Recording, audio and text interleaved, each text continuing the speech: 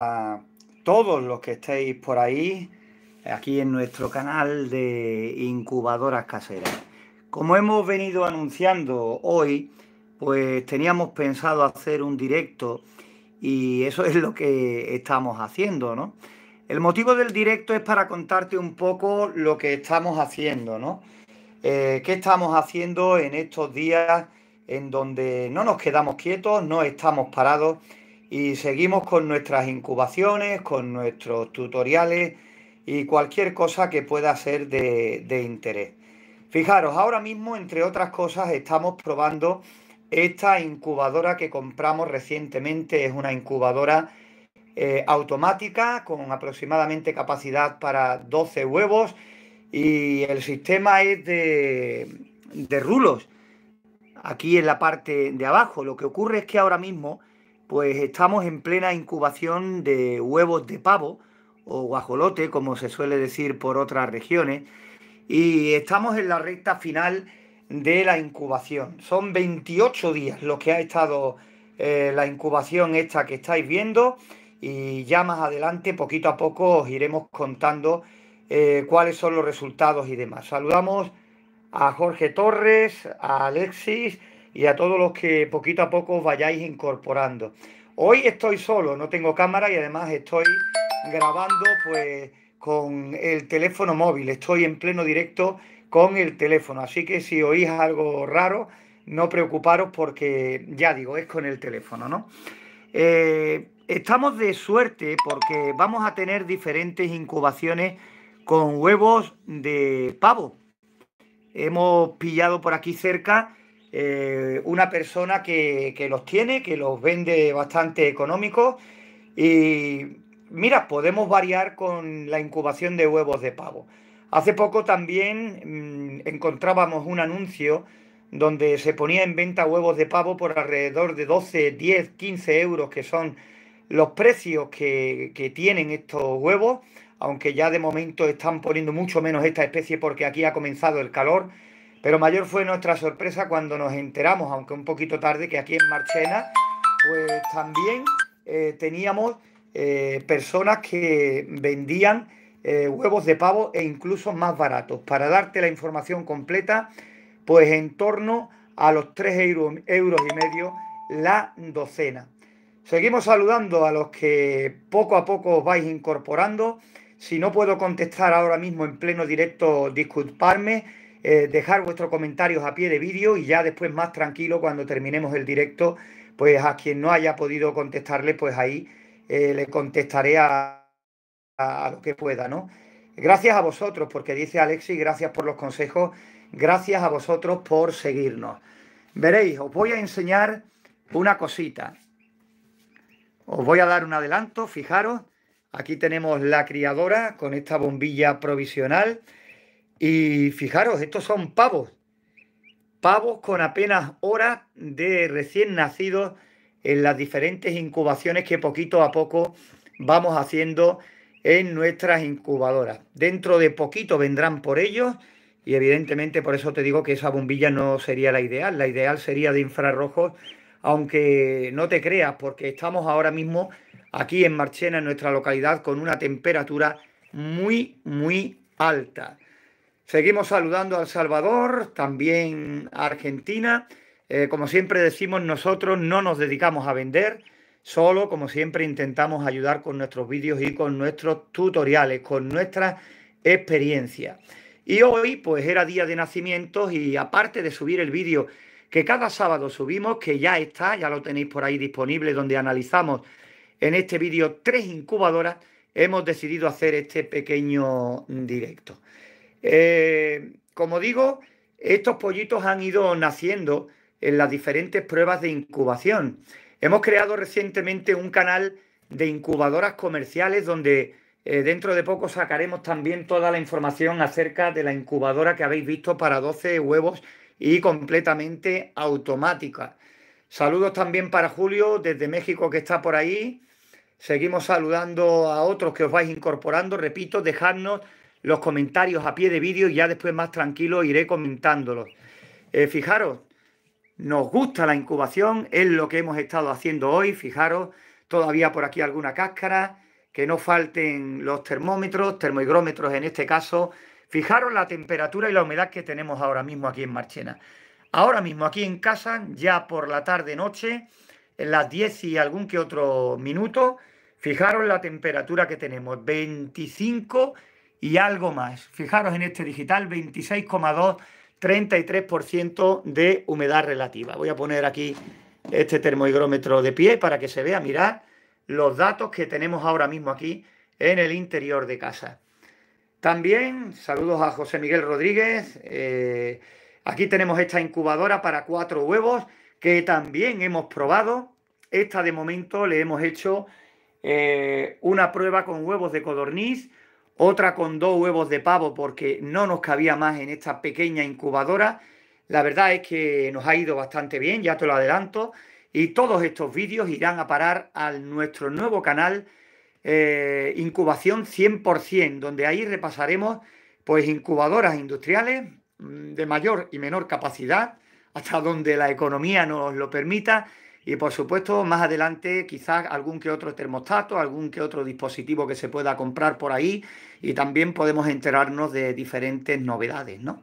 Pero ya digo, hoy estamos contentos porque Aquí tenemos estos pavos que serán de diferentes colores. Fijaros, hay uno negro, allí al fondo hay otro que tiene pinta de ser gris y todos estos amarillos que posiblemente, casi con toda seguridad, serán pavos blancos. Ya cuando se los lleve el dueño al que van destinados, al compañero que nos ha cedido los huevos para la incubación, pues vamos a ver si, si, bueno, poquito a poco, a medida que van creciendo, nos va enviando eh, algunos vídeos de las etapas del crecimiento y vamos compartiéndolas también con vosotros en nuestro canal. Fijaros este, el sueño que está echando, ya digo que tienen horas de nacer y todavía pueden nacer alguno que otro más porque, repito, estamos todavía haciendo pruebas de incubación con huevos de pavo.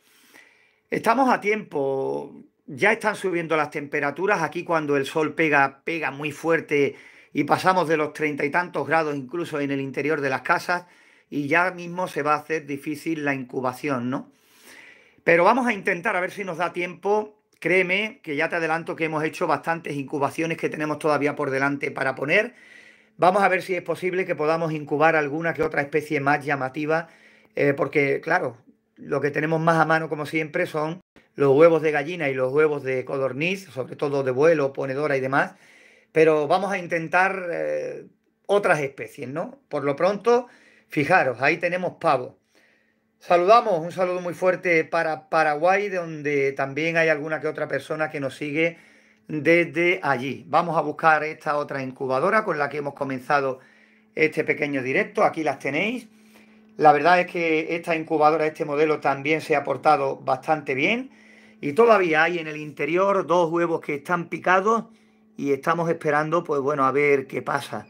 Lo que ocurre es que acabo de llegar hace poco, eh, ya como te puedes imaginar son las diez y pico de la noche, 22 horas y algo, y bueno, habrá que descansar un poquito, habrá que dormir, habrá que reponer fuerzas y claro, cuando nos pillan nacimientos y alguna que otra cosita por la noche, pues nos es imposible grabar y completar, pero la verdad es que Hemos sacado mucho provecho a todas estas incubaciones y ya las iremos compartiendo a través de nuestros canales aquí en YouTube. Comentaros que si estáis suscritos, activar la campanita porque nuestra intención es hacer muchos más directos si podemos, ¿vale? Intentaremos hacer más directos, los anunciaremos en la medida que nos sea posible, pero a lo mejor se presenta cualquier situación que merezca la pena hacer un directo y a lo mejor no tenemos tiempo de anunciarlo eh, con tanta antelación, ¿no? Por eso ya digo, si no estás suscrito, animarte a que te suscribas y si activas la campanita, pues te, llevarán, te llegarán las notificaciones cuando estemos en directo, como, como es el caso en el día de hoy. Fijaros, estas dos cáscaras de, huevos de pavo, eh, ya digo, anoche, ya tarde, antes de ir a la cama, pues me dio por mirarlo en la incubadora, echarle un vistazo antes de ir a dormir y nos dimos cuenta de que los huevos ya estaban algunos picados. Y eso que normalmente suelen salir a los 28 días, entre 28 y 30 días de incubación, pero aquí influye mucho, bastante la temperatura. Y como ya sabéis, a nosotros nos gusta incubar sobre 38.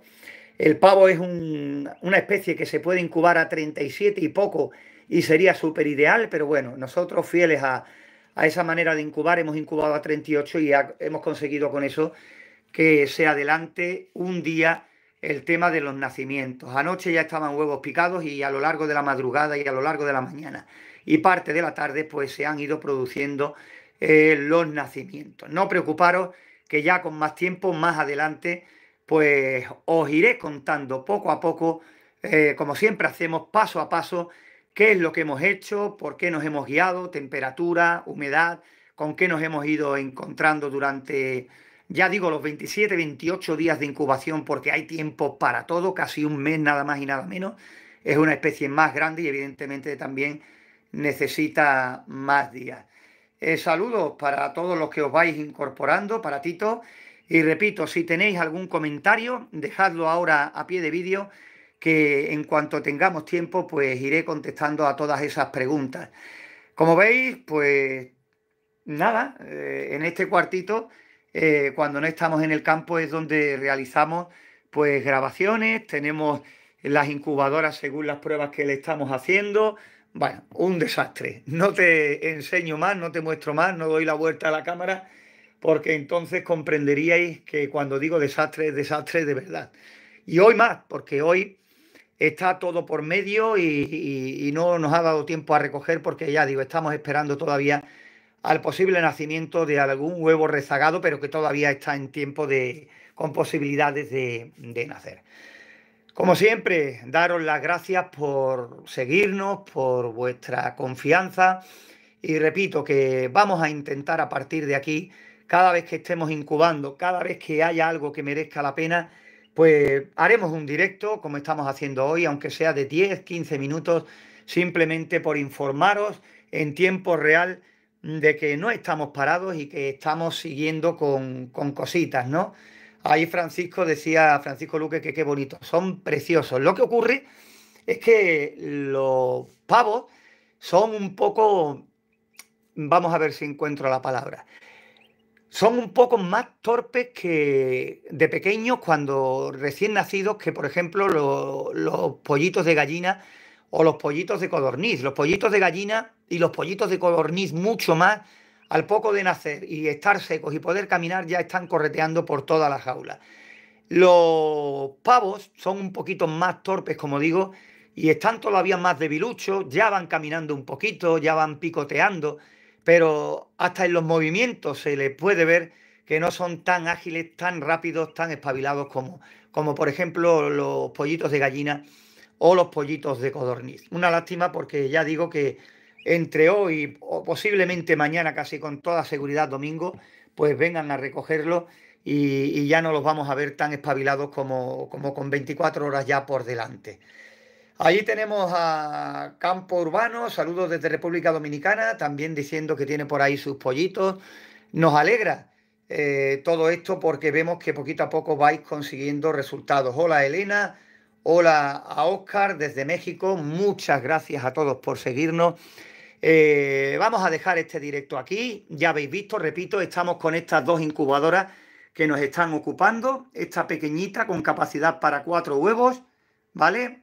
Ya tenemos el análisis completo de esta incubadora casi casi terminado, pero queremos incubar otra especie más y también tenemos casi casi terminado todo lo que es el proceso, el, conocer a fondo esta otra incubadora, por si te puede servir de, ayuda.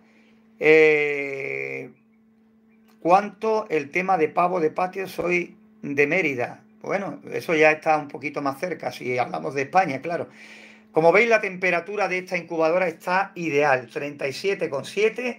La verdad es que se ha portado bastante bien durante toda la incubación la humedad relativa en el compartimento que tiene dentro también se ha portado bastante bien. No preocuparos que cuando terminemos todas las pruebas diremos los pros y los contras, la desarmaremos para que, para que veáis el interior, los componentes, lo del tema del depósito del agua que tiene, bueno, los depósitos de agua que tiene y la conoceremos a fondo como todo en nuestro canal de incubación 100% dedicado a incubadoras comerciales.